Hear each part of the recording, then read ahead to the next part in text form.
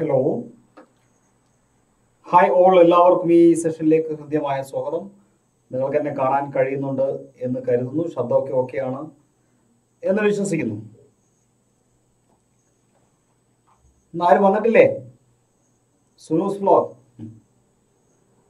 Okay അങ്ങനെ നമ്മൾ ഫെബ്രുവരി മാസത്തിലേക്ക് എത്തിയിരിക്കുകയാണ്. ജനുവരി എല്ലാം കഴിഞ്ഞു അല്ലേ? ഫെബ്രുവരി മാസത്തെ സോറി നാലാം ഭാഗം നമ്മൾ കാണിക്കുന്നില്ല. അത് അഞ്ചാം ഭാഗമാണ്.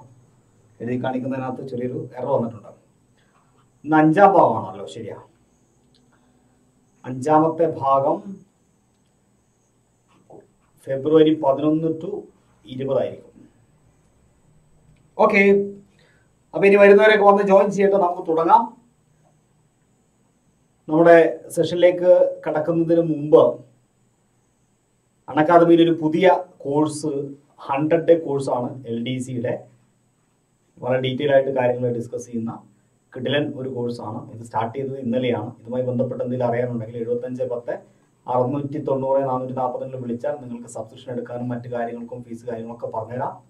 നിങ്ങൾ സ്വന്തമായി സബ്സ്ക്രിപ്ഷൻ എടുക്കുകയാണെങ്കിൽ ജാഫർ ഇംഗ്ലീഷ് എന്ന റഫറൽ കോഡ് ഉപയോഗിക്കണം. അൺ അക്കാദമി ആപ്പ് ഇൻസ്റ്റാൾ ചെയ്യാത്ത ആപ്പ് ഇൻസ്റ്റാൾ ചെയ്യണം ആദ്യം. അൺ അക്കാദമി ആപ്പ് ഒരു ഫ്രീ ആപ്പാണ്. ഈ ഇൻവൈറ്റ് കോഡ് ഉപയോഗിച്ചാൽ നിങ്ങൾക്ക് ഫ്രീ ആയിട്ട് ആപ്പ് ഉപയോഗിക്കാൻ സാധിക്കും. അതായത് ആപ്പ് ഇൻസ്റ്റാൾ ചെയ്യുമ്പോൾ ഇൻവൈറ്റ് കോഡ് ചോദിക്കും. അപ്പോൾ ജാഫർ ഇംഗ്ലീഷ് എന്ന് ഇൻവൈറ്റ് കോഡ് കൊടുക്കാം. നിങ്ങൾ ആപ്പ് നിലവിൽ ഉപയോഗിക്കുന്ന ആളാണെങ്കിൽ പ്ലസിലേക്ക് സബ്സ്ക്രിപ്ഷൻ എടുക്കാൻ ഫീസ് ഇനത്തിൽ നയന്റീൻ പെർസെന്റേജ് വരെ ഇളവ് ലഭിക്കാൻ ഈ കോഡ് നിങ്ങളെ സഹായിക്കും. ഓക്കെ അപ്പോൾ ഇതുമായി ബന്ധപ്പെട്ട് എന്തെങ്കിലും സംശയം ഉണ്ടെങ്കിൽ ദയവായിട്ട് ഈ നമ്പറിൽ കോൺടാക്ട് ചെയ്യാം. അതുപോലെ എച്ച് എസ് ഐയുടെ ഒക്കെ കോഴ്സുകൾ അൺ അക്കാദമിയിൽ നടക്കുന്നുണ്ട്. H S I social science ഇപ്പോൾ കഴിഞ്ഞ ദിവസം സ്റ്റാർട്ട് ചെയ്തു. ഇരുപത്തിമൂന്നാം തീയതി ഇംഗ്ലീഷ് നടക്കുന്നുണ്ട്. ഓക്കെ അപ്പോൾ ഇതൊക്കെയായി ബന്ധപ്പെട്ട് എന്തെങ്കിലും കാര്യങ്ങളുണ്ടെങ്കിൽ കോൺടാക്ട് ചെയ്തോളൂ. നമുക്ക് ഇന്നത്തെ സെഷൻ ആരംഭിക്കാം. ഇന്ന് അൻപതോളം ചോദ്യങ്ങളാണ് നമുക്ക് പഠിക്കാനുള്ളത്. ഫെബ്രുവരി പതിനൊന്ന് മുതൽ ഇരുപത് വരെയുള്ള രണ്ടായിരത്തി ഇരുപതിലെ ഫെബ്രുവരി പതിനൊന്ന് മുതൽ ഇരുപത് വരെയുള്ള ചോദ്യങ്ങളാണ്. ഒന്നാമത്തെ ചോദ്യം. ഇന്റർനാഷണൽ ഒളിമ്പിക് കമ്മിറ്റിയുടെ coaches life achievement coaches life അച്ചീവ്മെന്റിന് അർഹനാകുന്ന ആദ്യ ഇന്ത്യക്കാരൻ ആരാണ്? Prakash Padukone Vijendrakumar Park Jo Bong Pullela Gopichand. ഏതാ ഇവിടെ ശരി ഉത്തരം? ആ വെരി ഗുഡ് ഒന്നാമത്തെ ചോദ്യത്തിന്റെ ഉത്തരം പുല്ലേല ഗോപിചന്ദ് ആണ്. രണ്ടാമത്തെ ചോദ്യത്തിലേക്ക് കടക്കണം എ ചൈൽഡ് ഓഫ് ഡെസ്റ്റിനി എന്ന ആത്മകഥയുടെ രചയിതാവ് ആരാണ്? Child of destiny Arjun Subrahmanyam K. Ramakrishna Rao സാറായിവാസ് Shakti Sinha. A child of destiny രണ്ടായിരത്തി ഇരുപതിലെ പ്രമുഖമായ പുസ്തകങ്ങളൊന്നാണ് കെ. രാമകൃഷ്ണ റാവുവിന്റെ ഈ പുസ്തകം. മൂന്നാമത്തെ ചോദ്യം. സൗത്ത് അമേരിക്കയിലെ ഏറ്റവും ഉയരം കൂടിയ കൊടുമുടിയായ മൗണ്ട് എക്കൻകോവ കീഴടക്കിയ പ്രായം കുറഞ്ഞ ബാലികയാരാണ് രാമചന്ദ്രൈ പാൽ sorry Bachendri Pal Kamya Karthikeyan Melissa Arnot Arunima Sinha ഏതാ ശരിയുതരം സൗത്ത് അമേരിക്കയിലെ ഏറ്റവും ഉയരം കൂടിയ കൊടുമുടിയായ മൗണ്ട് എക്കൻകുവ കീഴടക്കിയ ഭാലിക ഏറ്റവും പ്രായം കുറഞ്ഞ ഭാലിക വാർത്തയിൽ ഇടം പിടിച്ച വ്യക്തിയാണ് കാമിയ കാർത്തികേയൻ. നാലാമത്തെ ചോദ്യം ഇന്ത്യ വിക്ഷേപിക്കുന്ന ഇരുന്നൂറ് kilometre strike range tactical ballistic missile two kilometers strike range range ballistic missile. Pranash good അഞ്ചാമത്തെ ചോദ്യത്തിലേക്ക് വരാം. പ്രഥമ ജെറുസലേം മുംബൈ ഫെസ്റ്റിവൽ രണ്ടായിരത്തി ഇരുപതിന്റെ വേദി. Jerusalem മുംബ Mumbai festival. Option A ആണ് മുംബൈ തന്നെയാണ് അതിന്റെ വേദി. പതിനൊന്നാമത് ഡിഫൻസ് എക്സ്പോ രണ്ടായിരത്തി ഇരുപതിന്റെ വേദി. രണ്ടായിരത്തി ഇരുപതിലെ ഡിഫൻസ് എക്സ്പെൻ എക്സ്പോ ഡെഫ് എക്സ്പോ അല്ലെ? ഡെഫ് എക്സ്പോ അല്ലെങ്കിൽ ഡിഫൻസ് എക്സ്പോയുടെ വേദി ഏതാണ്? ലക്നൗ ആയിരുന്നു. ഓപ്ഷൻ എ ലക്നൗ ഏഴാമത്തെ ചോദ്യം ലോക റേഡിയോ ദിനം എന്നാണ്. മാർച്ച് പത്ത് ജൂൺ പന്ത്രണ്ട് ഫെബ്രുവരി പതിമൂന്ന് നവംബർ നാല്. ലോക റേഡിയോ ദിനം ഫെബ്രുവരി മാസം പതിമൂന്നാം തീയതിയാണ് ഇവിടെ ക്ലൂ ഉണ്ടായിരുന്നു അല്ലേ? യെസ് എട്ടാമത്തെ ചോദ്യം. രണ്ടായിരത്തി ഇരുപതിലെ ലോക റേഡിയോ ദിനത്തിന്റെ പ്രമേയം എന്തായിരുന്നു? രണ്ടായിരത്തി ഇരുപതിലെ ലോക റേഡിയോ ദിനത്തിന്റെ പ്രമേയം എന്തായിരുന്നു? ഓപ്ഷൻസ് ഞാൻ വായിക്കുന്നില്ല നിങ്ങൾ വായിക്കുക. ശരി ഉത്തരം നിങ്ങൾക്കറിയാം. ഓപ്ഷൻ എ തന്നെയാണ് റേഡിയോ ആൻഡ് ഡിവേഴ്സിറ്റി എന്ന് പറയുന്ന ഒരു പ്രമേയമായിരുന്നു രണ്ടായിരത്തി ഇരുപതിൽ ലോക റേഡിയോ ദിനത്തിന്റെ പ്രമേയം. ലോക റേഡിയോ ദിനം എന്ന് പറയുന്നത് ഫെബ്രുവരി മാസം പതിമൂന്നാം തീയതിയാണ്. ഒൻപതാമത്തെ ചോദ്യം the thin mind map book an introduction എന്ന പുസ്തകത്തിന്റെ രചയിതാവ്. The thin mind map book an introduction എന്ന് പറയുന്ന പുസ്തകത്തിന്റെ രചയിതാവ് ധർമ്മേന്ദ്ര റായി ആണ് ഓപ്ഷൻ ഡി ആണ് ശരി ഉത്തരം. പത്താമത്തെ ചോദ്യം. എഫ് ഐ എച്ചിന്റെ എന്താ F I H F I എച്ചിന്റെ player of the year പുരസ്കാരം നേടുന്ന ആദ്യ ഇന്ത്യൻ താരം ഫെഡറേഷൻ ഓഫ് ഇന്ത്യൻ ഹോക്കി അല്ലെ F I H F I എച്ചിന്റെ player of the പുരസ്കാരം. പ്ലെയർ ഓഫ് ദ പുരസ്കാരം. Sorry player of the year പുരസ്കാരം. മൻപ്രീത് സിംഗ് ആണ് ഗുഡ് പതിനൊന്നാമത്തെ ചോദ്യം. F I എച്ചിന്റെ female rising star of the year ഇത് രണ്ടും പഠിക്കണം. Female rising star of the year പുരസ്കാരം. ആരാ? ലാൽ റംസിയാമി. ലാൽ റംസിയാമി ആണ് പന്ത്രണ്ടാമത്തെ ചോദ്യം. F I എച്ചിന്റെ male rising star of the year male rising star of the year Vivek Sagar Prasad Vivek Sagar Prasad ഛത്തീസ്ഗഡിൽ നിലവിൽ വന്ന ഇരുപത്തിയെട്ടാമത്തെ ജില്ലയുടെ പേരെന്ത്? ഛത്തീസ്ഗഡിൽ നിലവിൽ വന്ന ഇരുപത്തിയെട്ടാമത്തെ ജില്ലയുടെ പേരെന്ത്?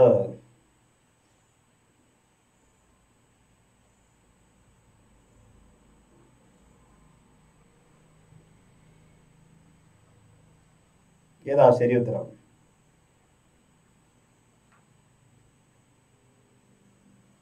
യെസ് ഓപ്ഷൻ സി ആണ് ശരി ഉത്തരം. ഗൗരല്ല പെൻട്ര മർവാഹി. പതിനാലാമത്തെ ചോദ്യം. രണ്ടായിരത്തി ഇരുപത് മാർച്ചിൽ നാഷണൽ വിന്റർ ഗെയിംസിന് വേദിയായത്. രണ്ടായിരത്തി ഇരുപത് മാർച്ചിൽ നാഷണൽ വിന്റർ ഗെയിംസിന് വേദിയായത്. യെസ് വെരി ഗുഡ് ഏതാ ശരി ഉത്തരം? ഗുൽമാർഗ് ഗുൽമാർഗ് അല്ലെ? വിന്റർ ഗെയിംസിന് വേദിയായത്. പതിനഞ്ചാമത്തെ ചോദ്യത്തിലേക്ക് പോകാം. ബ്രിട്ടനിൽ ധനമന്ത്രിയായി നിയമിതനായ ഇന്ത്യൻ വംശജൻ ആരാണ്?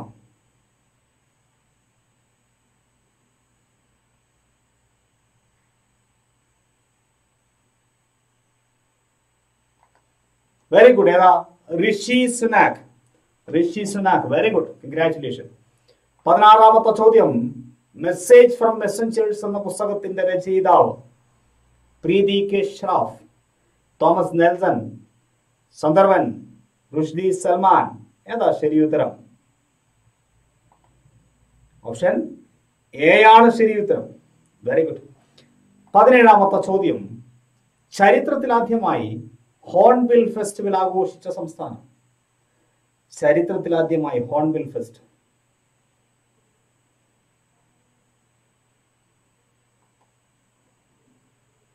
Yes Tripura Tripura. പതിനെട്ടാമത്തെ ചോദ്യം ഭൂഗർഭ ജലനിരപ്പ് വർദ്ധിപ്പിക്കുന്നതിന് വർദ്ധിപ്പിക്കുന്ന ലക്ഷ്യമാക്കി ground water act ground water act ground water act twenty twenty option D ആണ് ഉത്തർപ്രദേശ്. പത്തൊൻപതാമത്തെ ചോദ്യം വൃക്ഷങ്ങൾ നട്ടുപിടിപ്പിക്കുന്നത് പ്രോത്സാഹിപ്പിക്കുന്നതിനായിട്ട് പ്യാർക്ക പൗധ പേട അല്ലെ? Pyar ka Ped a plant of love പ്രചരണ പരിപാടി ആരംഭിച്ച സംസ്ഥാനം. പ്ലാന്റ് ഓഫ് ലവ് പ്രചരണ പരിപാടി ആരംഭിച്ച സംസ്ഥാനം ഏതാണ്? Pyar ka Ped yes very good ഏതാ? ബീഹാർ ആണ് ശരി ഉത്തരം. ബീഹാർ. ഇരുപതാമത്തെ ചോദ്യത്തിലേക്ക് കടക്കാം. രണ്ടായിരത്തി ഇരുപത് ഫെബ്രുവരിയിൽ ദയാൽ ദീൻ ദയാൽ ഉപാധ്യായയുടെ അറുപത്തിമൂന്ന് അടി ഉയരമുള്ള പ്രതിമ അനാച്ഛാദനം ചെയ്തത് എവിടെയാണ്? ദീൻ ദയാൽ ഉപാധ്യ- ഉപാധ്യായയുടെ അറുപത്തിമൂന്ന് അടി ഉയരമുള്ള പ്രതിമ അനാച്ഛാദനം ചെയ്തത് എവിടെയാണ്? വാരണസിയിലാണ്. ഗോഡ്. ഇരുപത്തിയൊന്നാമത്തെ ചോദ്യം. ഈസ്റ്റ് വെസ്റ്റ് മെട്രോ കോറിഡോർ നിലവിൽ വന്ന നഗരം ഗാന്ധിനഗർ കൊൽക്കത്ത. മുംബൈ ചണ്ഡീഗഡ് ഏതാ ശരി ഉത്തരം? യെസ് ഓപ്ഷൻ ബി ആണ് ശരി ഉത്തരം കൊൽക്കത്ത. ഇരുപത്തിരണ്ടാമത്തെ ചോദ്യം ഇന്ത്യയിൽ ആദ്യമായിട്ട് ഇന്റർസിറ്റി ഇലക്ട്രിക് ബസ് സർവീസ് പ്രവർത്തനം ആരംഭിച്ചത്? മുംബൈ താനെ മുംബൈ നാഗ്പൂർ മുംബൈ പൂനെ മുംബൈ നാസിക്. ലോകത്തിൽ ആദ്യമായി ഇന്റർസിറ്റി ഇലക്ട്രിക് ബസ് സർവീസ് പ്രവർത്തനം ആരംഭിച്ചത് മുംബൈ പൂനെ. രണ്ടായിരത്തി ഇരുപതിൽ അന്തരിച്ച പ്രശസ്ത മദ്ദള കലാകാരൻ ആരായിരുന്നു? Varanasi Vishnu Namboothiri M Subrahmanyam M Balamurali M S Naseem. ഏതാ ശരി ഉത്തരം? യെസ് വാരണാസി വിഷ്ണു നമ്പൂതിരിയാണ്. ഇരുപത്തിനാലാമത്തെ ചോദ്യം. രണ്ടായിരത്തി ഇരുപത് ഫെബ്രുവരിയിൽ കെയ്ൻസ് കപ്പ് ചെസ് ടൈറ്റിൽ നേടിയ Indian താരമേതാണ് Koneru Humpy Viswanathan Anand Harikrishnan Nihal Sarin yes option A Koneru Humpy ഇരുപത്തിയഞ്ചാമത്തെ ചോദ്യം രണ്ടായിരത്തി ഇരുപത് ഫെബ്രുവരിയിൽ കെയിൻസ് കപ്പ് സ്റ്റാറ്റിൽ നിന്നാണ് ഇന്ത്യൻ പുതിയ താരം സോറി ഇന്ത്യൻ താരം. ഒരു പുതിയ ചോദ്യമാണ്. എല്ലാവരും തെറ്റിക്കും നോക്കാം. Yes Koneru Humpy really sorry ചോദ്യം റിപ്പീറ്റ് ആയി വന്നതാണ്. ക്ഷമിക്കുക ഇരുപത്തിയാറാമത്തെ ചോദ്യം രണ്ടായിരത്തി ഇരുപതിലെ ടോക്കിയോ ഒളിമ്പിക്സിന്റെ മുദ്രാവാക്യം. ടോക്കിയോ ഒളിമ്പിക്സിന്റെ മുദ്രാവാക്യം രണ്ടായിരത്തി ഇരുപതിലെ ടോക്കിയോ ഒളിമ്പിക്സിന്റെ മുദ്രാവാക്യം ഏതാണ്? ഏതാണ് Riya Jyotsna Amaljith? United by emotion രണ്ടായിരത്തി ഇരുപതിലെ ടോക്കിയോ ഒളിമ്പിക്സിന്റെ മുദ്രാവാക്യം എന്ന് പറയുന്നത് യുണൈറ്റഡ് ബൈ ഇമോഷൻ എന്നാണ്. ഇരുപത്തിയേഴാമത്തെ ചോദ്യം Chanakya Neeti verses on life and living എന്ന പുസ്തകത്തിന്റെ രചയിതാവ് ആരാണ്? Chanakya Neeti verses on life and living എന്ന പുസ്തകത്തിന്റെ രചയിതാവ് ആരാണ്? ആ അജു അജീഷെ മുടിയൊക്കെ വന്നു. ഓക്കെ ഏതാണ്? എ എൻ ഡി ഹസ്കർ എ എൻ ഡി ഹസ്കർ ഇരുപത്തിയെട്ടാമത്തെ ചോദ്യം. രണ്ടായിരത്തി പതിനെട്ട് പത്തൊമ്പത് സ്വരാജ് ട്രോഫി കരസ്ഥമാക്കിയ മികച്ച പഞ്ചായത്ത് ഏതാണ്? പാപ്പിനിശ്ശേരി അമ്പലവയൽ ആറളം ധർമ്മടം. ഏതാണ്? ഓപ്ഷൻ എ ആണ് പാപ്പിനിശ്ശേരിയാണ് ശരി ഉത്തരം? ഇരുപത്തിയൊൻപതാമത്തെ ചോദ്യത്തിലേക്ക് നമുക്ക് കടക്കാം. രണ്ടായിരത്തി പതിനെട്ട് പത്തൊൻപത് സ്വരാജ് ട്രോഫി കരസ്ഥമാക്കിയ മികച്ച ബ്ലോക്ക് പഞ്ചായത്ത് ഏതാണ്? മികച്ച ബ്ലോക്ക് പഞ്ചായത്ത് ഏതാണ്? ഓപ്ഷൻ സി ആണ് നെടുമങ്ങാടാണ് ശരി ഉത്തരം വെരി ഗുഡ് മുപ്പതാമത്തെ ചോദ്യത്തിലേക്ക് കടക്കുകയാണ്.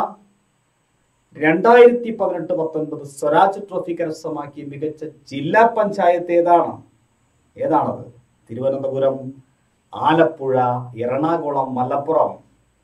ജോത്സന നമ്മളെ സ്വന്തം ജില്ല അല്ലേ? നമ്മളെ സ്വന്തം ട്രിവാൻഡ്രം. ആരൊക്കെയുണ്ട് ട്രിവാൻഡ്രംകാര്? താഴെ ഒരു ഹായ് പറയും ട്രിവാൻഡ്രംകാരെ. ഓപ്ഷൻ എ തിരുവനന്തപുരം യെസ് മുപ്പത്തിയൊന്നാമത്തെ ചോദ്യം രണ്ടായിരത്തി പത്തൊൻപതിലെ യുനെസ്കോ കലിംക പ്രൈസ് ജേതാവ് യുനെസ്കോ കലിംക പ്രൈസ് ജേതാവ് കാൾ ക്രിസൽനിക്കി ഉം. ഉം. സോറി റിയലി സോറി ചോദ്യം ഒരു ഉത്തരവും അവിടെ വന്നതാണ് അവിടെ നിൽക്കട്ടെ. അടുത്ത ചോദ്യം ഡൽഹി മുഖ്യമന്ത്രി ആരാണ് മുപ്പത്തിയൊന്നാമത്തെ ചോദ്യം. ഇത് രണ്ട് ചോദ്യം ഒരു ഒരു സ്ലൈഡിനകത്ത് വന്നതാണ്. ടൈപ്പ് ചെയ്ത ആൾക്ക് എന്താ പറയാ സ്ലൈഡ് വെച്ചപ്പോൾ മാറിപ്പോയതാണ് റിയലി സോറി അരവിന്ദ് കെജ്രിവാൾ. മുപ്പത്തിരണ്ടാമത്തെ ചോദ്യം ലഹരി ഉപയോഗിക്കുന്നവരുടെയും വിതരണം ചെയ്യുന്നവരുടെയും വിവരം പോലീസിൽ അറിയിക്കുന്നതിനായിട്ട് കൊച്ചി പോലീസ് ആരംഭിച്ച മൊബൈൽ ആപ്ലിക്കേഷന്റെ പേര് ലഹരി ഉപയോഗിക്കുന്നവരുടെയും വിതരണം ചെയ്യുന്നവരുടെയും വിവരം പോലീസിൽ അറിയിക്കുന്നതിനായി കൊച്ചി പോലീസ് ആരംഭിച്ച മൊബൈൽ ആപ്ലിക്കേഷന്റെ പേര് യോദ്ധാവ് ബെബ്കോ ഡയൽ എക്കോപ്പ് പോൾ ആപ്പ്. ഏതാ ശരി ഉത്തരം? സോറി ഓപ്ഷൻ എ ആണ് യോദ്ധാവ്. മുപ്പത്തിമൂന്നാമത്തെ ചോദ്യം. രണ്ടായിരത്തി ഇരുപത്തിയൊന്ന് ജൂനിയർ പുരുഷ ഹോക്കി ലോകകപ്പിന് വേദിയാകുന്ന രാജ്യം. രണ്ടായിരത്തി ഇരുപത്തിയൊന്ന് ജൂനിയർ പുരുഷ ഹോക്കി ലോകകപ്പിന് വേദിയാകുന്ന രാജ്യം. India France Japan Bangladesh. ഏതാണ് ഇവിടെ ശരി? ഓപ്ഷൻ എ ആണ് ശരി. മുപ്പത്തിനാലാമത്തെ ചോദ്യം. രണ്ടായിരത്തി ഇരുപത്തിയൊന്ന് ജൂനിയർ വനിതാ ഹോക്കി ലോകകപ്പിന് വേദിയാകുന്ന രാജ്യം ഫ്രാൻസ് ജപ്പാൻ സൗത്ത് ആഫ്രിക്ക ദക്ഷിണ കൊറിയ. ഏതാ ശരി? Yes option C south Africa. മുപ്പത്തഞ്ചാമത്തെ ചോദ്യം. ഇന്ത്യയിലെ ആദ്യ സിംഗിൾ യൂസ് പ്ലാസ്റ്റിക് ഫ്രീ വിമാനത്താവളം. ഇന്ത്യയിലെ ആദ്യ സിംഗിൾ യൂസ് പ്ലാസ്റ്റിക് ഫ്രീ വിമാനത്താവളം ഇന്ദിരാഗാന്ധി അന്താരാഷ്ട്ര വിമാനത്താവളം ദേവി അഹല്യഭായ് ഹോൾക്കർ വിമാനത്താവളം ചൗധരി ചരൺ സിംഗ് വീർ സവർക്കർ അന്താരാഷ്ട്ര വിമാനത്താവളം. ഏതാ ശരി ഉത്തരം? യെസ് സോറി ഓപ്ഷൻ എ ആണ് ശരി ഉത്തരം. ഓപ്ഷൻ എ ആണ് ശരി ഉത്തരം. അടുത്ത ചോദ്യത്തിലേക്ക് നമുക്ക് പോകാം. നെക്സ്റ്റ് ക്വസ്റ്റ്യൻ അഫ്ഗാനിസ്ഥാൻ പ്രസിഡന്റ് തിരഞ്ഞെടു അഫ്ഗാനിസ്ഥാൻ പ്രസിഡന്റായി തിരഞ്ഞെടുക്കപ്പെട്ടത് അഫ്ഗാനിസ്ഥാൻ പ്രസിഡന്റായി തിരഞ്ഞെടുക്കപ്പെട്ടത്? യെസ് ഓപ്ഷൻ ബി അഷ്റഫ് ഖാനിയാണ്. ശരി ഉത്തരം. അഷ്റഫ് ഖാനി. രണ്ടായിരത്തി ഇരുപത് മാർച്ചിൽ കടമനിട്ട പുരസ്കാരത്തിന് അർഹനാകുന്നത്? കടമനിട്ട പുരസ്കാരത്തിന് അർഹനാകുന്നത് ആരാണ്? യെസ് കെ ജി ശങ്കരപ്പിള്ള അടുത്ത ചോദ്യം. മുപ്പത്തിയെട്ടാമത്തെ ചോദ്യമാണ് രണ്ടായിരത്തി ഇരുപത് ഫെബ്രുവരിയിൽ ഗുരുവായൂർ ദേവസ്വം ഏർപ്പെടുത്തിയ ജ്ഞാനപ്പാന പുരസ്കാരത്തിന് അർഹനായത്? ജ്ഞാനപ്പാന പുരസ്കാരത്തിന് അർഹനായത് ആര്? ഓപ്ഷൻ ഡി ആണ് ശരി പ്രഭാവർമ്മ.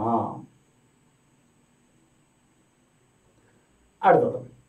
ലോകത്തിൽ ഏറ്റവും കൂടുതൽ ആളുകൾ സംസാരിക്കുന്ന മൂന്നാമത്തെ ഭാഷ ഏതാണ്? മൂന്നാമത്തെ ഭാഷ. ലോകത്തിൽ ഏറ്റവും കൂടുതൽ ആളുകൾ സംസാരിക്കുന്ന മൂന്നാമത്തെ ഭാഷ ഏതാണ്?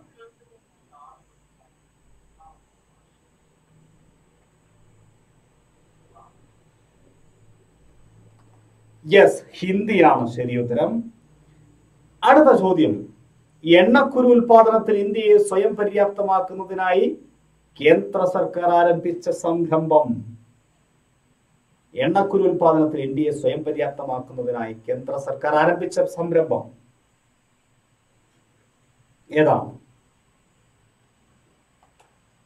ടിഹാൻ മിഷൻ. വെരി ഗുഡ് നാൽപ്പത്തിയൊന്ന് താഴെ പറയുന്നവയിൽ എന്ത് ഉദ്ദേശത്തിനാണ് മനാകൃഷ്ണ ക്യാമ്പയിൻ മനാകൃഷ്ണ ക്യാമ്പയിൻ ആരംഭിച്ചത്? മനാകൃഷ്ണ ക്യാമ്പയിൻ കേട്ടിട്ടുണ്ടോ? ശ്രീകൃഷ്ണന്റെ ഉത്ഭവം സോറി ശ്രീകൃഷ്ണന്റെ ഉത്സവം ആഘോഷിക്കുന്നതിന് ശ്രീകൃഷ്ണ ഉത്സവം അല്ലെ? അതെന്താണെന്ന് അറിയില്ല. ഓപ്ഷൻ അങ്ങനെ. നദി കനാൽ വൃത്തിയാക്കുന്നതിന് സ്വമേധയാവുള്ള സ്വമേധയാവുള്ള തൊട്ടപ്പണി നിരോധിക്കുന്നതിന് ഇവയൊന്നുമല്ല. ഓപ്ഷൻ ബി ആണ് ശരി ഉത്തരം നദി കനാൽ വൃത്തിയാക്കുന്നതുമായി ബന്ധപ്പെട്ട ഒരു പ്രോജക്റ്റ് ആണ് ഇത് മനാകൃഷ്ണ എന്ന് പറയുന്നത്. ഓക്കെ. ലോക യുനാനി ഡേ ആഘോഷിക്കുന്നത് എല്ലാ വർഷവും ഏത് തീയതിയിലാണ്?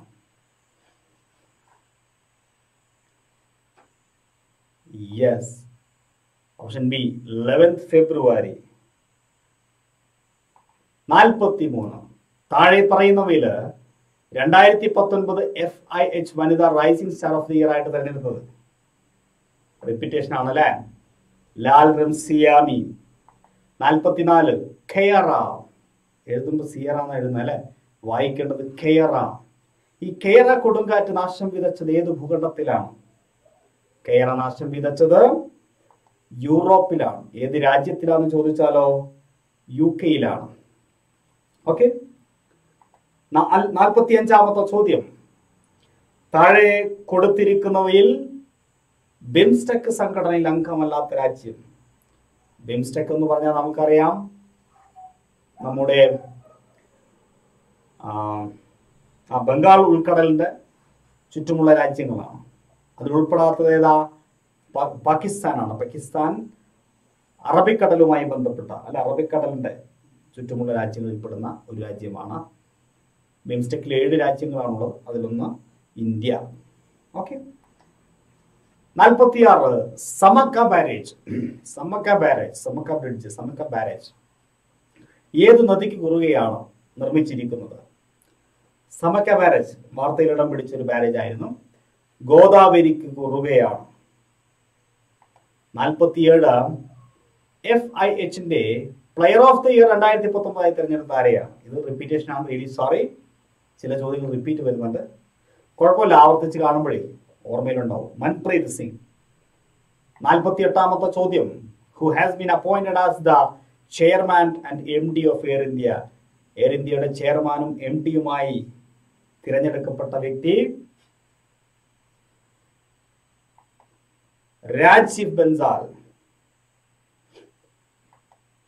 നാൽപ്പത്തി ഒൻപത് Konark sun temple located in Odisha will be restored by the government. The temple was built by which ruler? ഈ കൊണാർക്ക് ടെമ്പിൾ ഉണ്ടല്ലോ. ഈ അടുത്ത് വാർത്തയിൽ ഇടം പിടിച്ചതാണ്. ഒഡീഷയിലാണ്. എവിടെയാണെന്ന് ചോദിക്കാം? ഒഡീഷയിലാണ്. അത് റീസ്റ്റോർ ചെയ്യാൻ പോവാണ് ഗവൺമെന്റ് പുതുക്കി പണിയാൻ പോവാണ്. The temple was built by the ruler ഏത് കാലഘട്ടത്തിൽ ഏത് ഏത് റൂളറാണ് അത് ബിൽറ്റ് ചെയ്ത് നിർമ്മിച്ചത്? നരസിംഹദേവ അല്ലെ? വണ്ണന്റെ കാലത്താണ് അത് നിർമ്മിക്കപ്പെട്ടത്. പരീക്ഷയ്ക്ക് ചിലപ്പോൾ അത് എവിടെയാന്ന് ചോദിക്കാം. ഒഡീഷയിലാണ്. അൻപതാമത്തെ ചോദ്യം. Recent join military exercise Sampriti ചിലപ്പോൾ ഈ മിലിറ്ററി എക്സസൈസിന്റെ പേരായിരിക്കും ചോദിക്കുക. Sampriti nine between the armies which of two countries was completed in Umroi ചിലപ്പോൾ ഇതായിരിക്കും ചോദ്യം. സംപ്രീതി പരിശീലനം നടന്നത് എവിടെയാണ്? സൈനിക പരിശീലനം നടന്നത് എവിടെയാണ്? ഉമ്രോയിലാണ് ചിലപ്പോൾ ഇങ്ങനെ ചോദിക്കാം ഉമ്രോയി എവിടെയാന്ന് ചോദിക്കാം. സമൃദ്ധി നയം നടന്ന ഉമ്രോയി എവിടെയാണ്? മേഘാലയയിലാണ്. ചിലപ്പോ ഈ പരിശീലനം ഏത് രാജ്യങ്ങൾ തമ്മിലാണ്? മേഘാലയയിലെ ഉംറോയിൽ വെച്ച് നടന്ന സമൃദ്ധി നയൻ എന്ന് പറയുന്ന സൈനിക പരിശീലനം അതായത് മിലിറ്ററി എക്സസൈസ് ഏത് രാജ്യങ്ങൾ തമ്മിലായിരുന്നു എന്ന് ചോദിച്ചാൽ option A India and Bangladesh. ഇന്ത്യയും ബംഗ്ലാദേശും തമ്മിലായിരുന്നു. അൻപത്തി ഒന്നാമത്തെ ചോദ്യത്തിലേക്ക് നമുക്ക് കടക്കാം.